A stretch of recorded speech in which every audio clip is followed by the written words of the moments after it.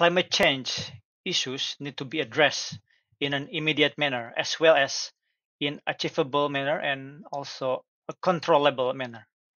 One way to tackle climate change is to mitigate the carbon concentration in the atmosphere and or using sustainable energy sources to reduce our dependencies on fossil fuels.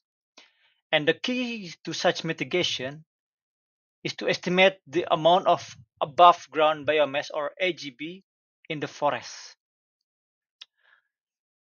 The forest has a key role in uh, climate change, especially in AGB.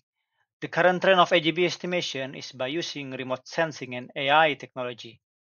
With the use of remote sensing, we can estimate AGB indirectly using allometric equation or machine learning algorithms such as ensemble learning.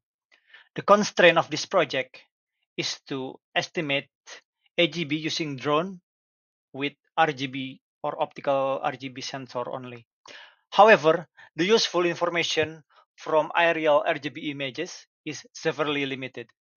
Using RGB image alone will lead to AGB estimation with high uncertainty and or high errors. But with the advancement of deep learning techniques, such as semantic segmentation and image to image or eye to eye translation, we can improve the limited information of RGB images. Forest structural parameters such as crown diameter and wood specific gravity can be derived from semantic segmentation result. Meanwhile, the tree height is obtained from image translation model that convert RGB to CHM band image.